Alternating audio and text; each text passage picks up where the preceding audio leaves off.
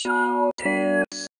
Okay, so we've, we've all tried a lot of things, right? We've all tried uh, putting onions in the refrigerator. For me, it doesn't work. I have incredibly sensitive eyes. Onions burn my eyes. For years, I have been keeping a pair, I might have more in here. I've been keeping pairs of swim goggles uh, in, my, in my kitchen. I don't actually think it works very well. They fog up. Then for a while, I tried just holding my breath. The theory that, you know, anyway, that didn't work either. Okay, so here's the solution. I got this at a hardware store. This is just a fan. Um, I had been thinking for a while about the way to do it. This is, and I'm telling you, this just works. No problem, see? I have no problem. I'm totally fine. I'm totally, totally fine. I'm not crying. Do you see tears? I don't see any tears. I feel no tears. I see no tears. I'm fine.